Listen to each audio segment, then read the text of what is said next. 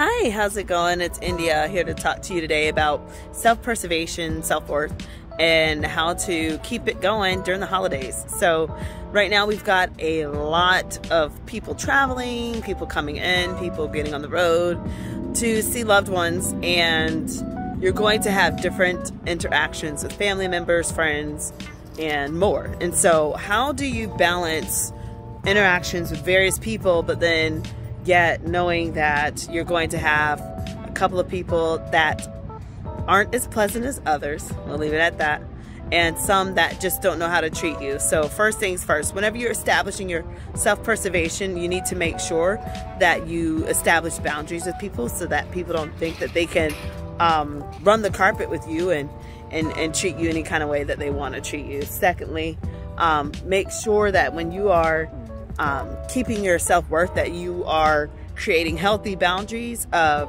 time limits as to when you are available for, you know, hanging out or, you know, uh, going places and whatnot, and when you are not. There's nothing wrong with saying yes to yourself.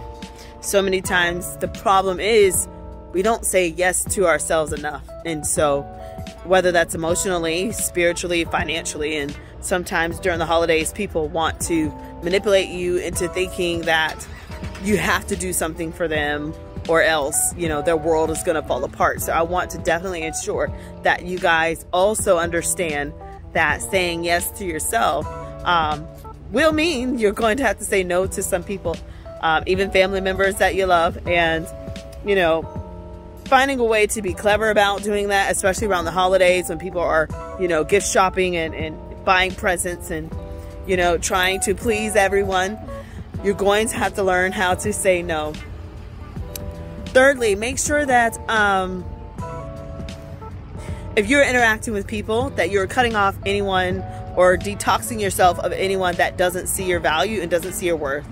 You can't convince people uh, to value you. You can't convince anyone to love you.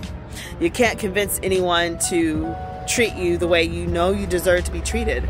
So, hence, if you're in a situation and people are um, mopping the floor with your emotions and they're playing games, it's your right to establish boundaries, uh, detox, cut them off if you need to, do whatever you need to do because you you deserve to be treated with the utmost respect, especially if all you have done is given them respect in return.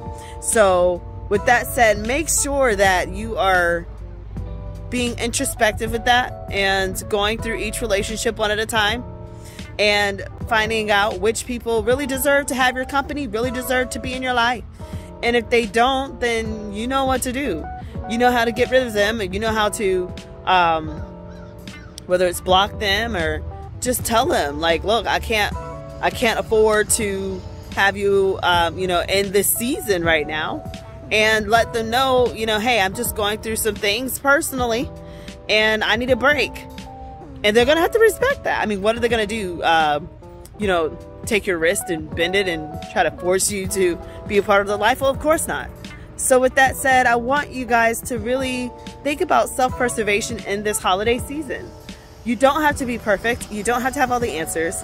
And you don't have to allow people to mistreat you, especially when you've done nothing but love them and give them your best. So, with that said, I hope that you're able to take these nuggets and to tie them towards self preservation. Put yourself first, love yourself this holiday season. Refuse to take any type of mistreatment from anyone. Take care. Happy holidays.